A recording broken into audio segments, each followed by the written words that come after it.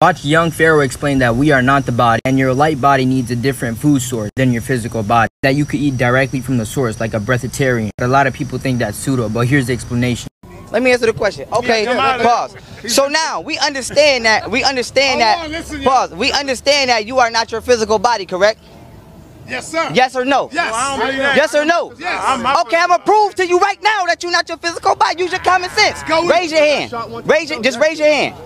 Did your hand raise itself, or did you give the command to the body to raise the hand? No. Hold on. Paul, yeah, did, well, answer the question. Answer the question. My brain. Okay, your brain gave a signal, right? brain is a physical So, so now, okay, your brain is an official entity, correct? Which means that, the which means that the source from which the thought came would not be the body, because the body is the puppet. synapse is fired. So do you? No, answer the question, man. You just no question. Now I'm running over you. Listen, you are not the body. First of all, first of all, you are not the body. You saying it's pseudo, but you're not spiritually vibrating high enough to even transmit this knowledge. So first of all, second of all, calm down. Third of all, third of all, dog. Third of all, you are not your body. So therefore, your spirit ethereal body has a different food source than your physical body. If you fuse your spirit body or your ethereal body with your physical body, you can eat directly from the source. So the soles of your hands, the soles of your feet, the palms of your hand, these try these transmute energy. These are your 11 chakras. Your aura is your you have you have seven levels of existence. You only see them with the two eyes, which is the third dimension, which is the densest level. You have a seventh eye, which is your crown chakra.